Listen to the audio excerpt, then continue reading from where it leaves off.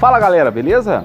Nesse vídeo de hoje aqui eu quero passar duas dicas para você que vai fazer a grande diferença aí quando você estiver montando treliças para estrutura metálica. Como vocês estão acompanhando aqui no nosso canal, a gente tem feito aqui o passo a passo da fabricação de uma cobertura, uma estrutura metálica, no qual eu já gravei aqui alguns vídeos falando a respeito da montagem da treliça. Tá, Leibson, mas é, tem mais alguma coisa a respeito disso? Tem.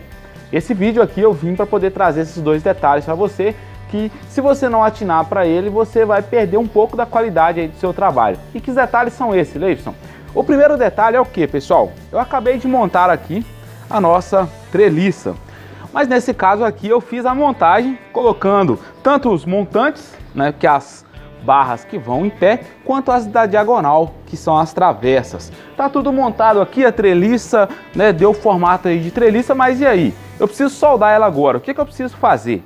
Depois de eu ter dado os pontos na parte de cima, antes que eu comece a soldar aqui a nossa treliça, é indispensável que eu venha e dê alguns pontos por dentro da treliça, fixando né, a parte de baixo dela. Por que, que eu tenho que fazer isso? Porque se eu não der esse ponto aqui na parte de baixo, na hora que eu começar a soldar, os perfis aqui da lateral, que são os banzos superior e o inferior, ele vai começar a abrir, ó. Então eu tô aqui, começo a soldar, ele começa a abrir assim, ó, a parte de baixo, porque ele não tá ponteado. Então eu tenho que vir aqui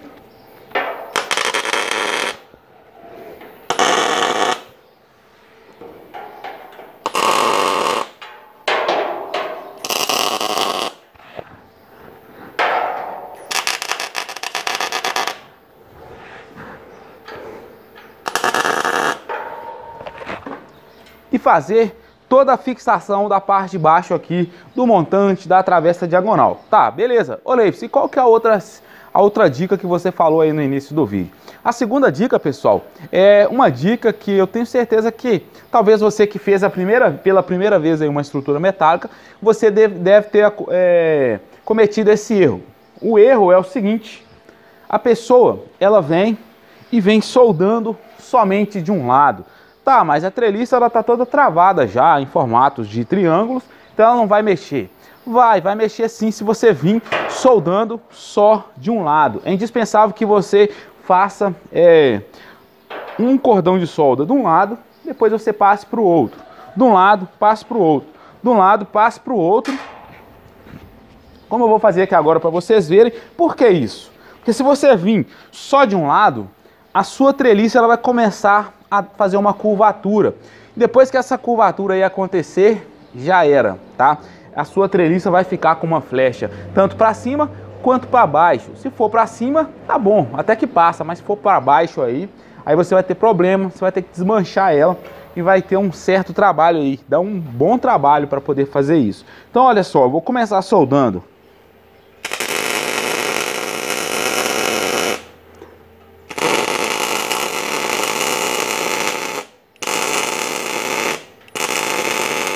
do lado de cima, agora eu passo para o lado de baixo.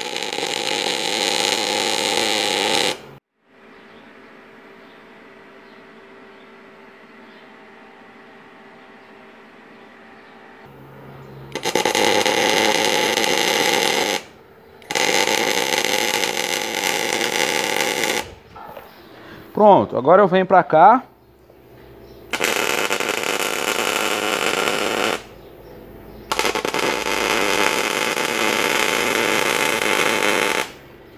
e vou para baixo.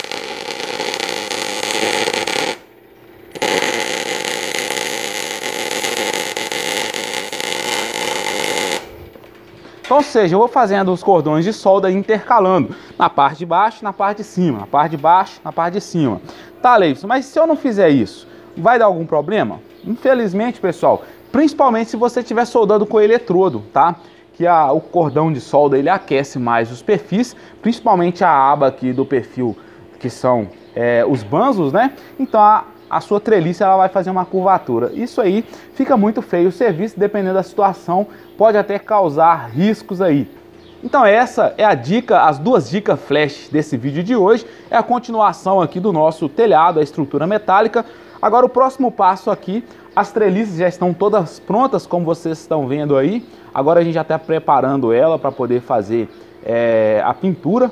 Então nesse caso a gente vai pintar ele começar lá na obra. Até agora a gente fez aqui os vídeos, os tutoriais aqui na serralheria, agora a gente vai levar isso aqui pronto, né, lá para para a obra para ficar mais fácil, tá? Aqui eu soldei com a MIG, foi muito mais rápido, então ou seja, eu fiz três treliças, como vocês já acompanharam os vídeos anteriores, três treliças aí de aproximadamente 10 metros com 50 centímetros, a gente gastou em menos de meio dia para fazer todas as três, cortando, montando e soldando, tá bom? Espero que vocês tenham gostado, deixa um joinha aí para fortalecer aqui o nosso canal, se você ainda não assistiu os vídeos anteriores. E quer pegar aí o passo a passo lá desde o início, então, vem aqui nesse card aqui em cima que eu te levo aí até o vídeo que foi o primeiro passo aí dessa cobertura, tá bom? Mas no mais, se você ainda não é inscrito e gosta aí de serralheria, inscreve aqui no nosso canal, tá bom?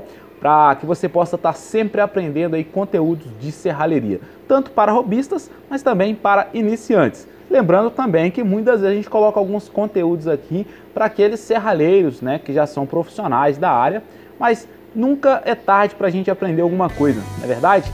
É isso aí. Forte abraço para todos. Até mais e obrigado.